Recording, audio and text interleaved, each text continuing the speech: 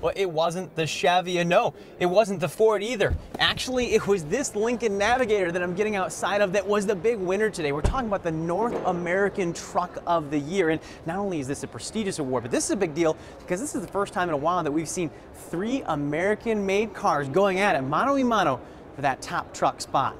The Lincoln Navigator.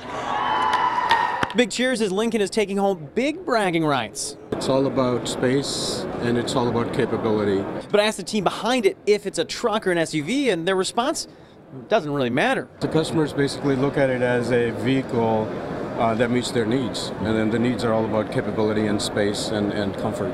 The Accord meeting the needs of voters, apparently, taking home top honors after complete redesign. Despite that, this car has more changes in its sights. The Accord story is not over because later on this year we'll be launching the Accord Hybrid, so we're very excited about that as well. In the 2018 North American Utility of the Year is the Volvo XC60. Volvo rounding out our award winners this year despite stiff competition against the Alfa Romeo and the Honda Odyssey. The award a meaningful one for Volvo. I've been working for Volvo my whole life, so, so, sometimes we don't have time to celebrate. This time they will. In fact, they're having so much fun, they pass around the award.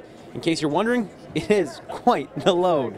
Don't worry, you didn't drop the award, no nicks, no scratches, but I'm a little worried about being inside the vehicle now because it just seems a little bit more valuable, right? The XC60, the Volvo, the utility vehicle of the year. Very cool to see the car and truck announced right here in Detroit as well. It's always a lot of excitement here in Detroit, and the excitement these three vehicles is now going to push right on over into the auto showroom floor. It's going to be the buzz of the day.